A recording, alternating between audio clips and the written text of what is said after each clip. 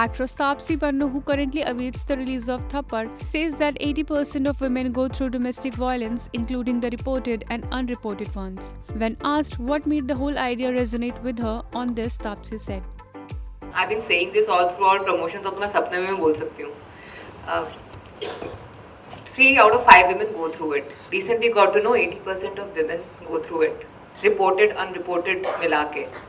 धक्के से लेके थप्पड़ से लेके फुल ऑन मारपीट तक। तो अगर मैंने अपने घर में नहीं तो मेरे दोस्त के साथ हो रहा है या मेरे पड़ोसी के साथ तो हो ही रहा है। तो मुझे ज़्यादा दूर नहीं जाना पड़ा इससे इफ़ेक्ट होने के लिए या इन्फ्लुएंस होने के लिए। So it was as easily visible around as possible. So I felt like कि हम एड्रेस तो करते हैं काफ़ी फ़िल्मों में ये वाली चीज़ बड़ी सब लेयर में होती है। बट uh, जो सामने हेड ऑन कोई डील नहीं कर रहा था। So when Sir told me this idea, I had to jump on it, and I'm very good at. The film, directed by Anubhav Sinha, also stars actors Pavail Gulati, Manav Kaul, Dia Mirza, Tanvi Azmi, and Ram Kapoor. Thappad is scheduled to open on February 28.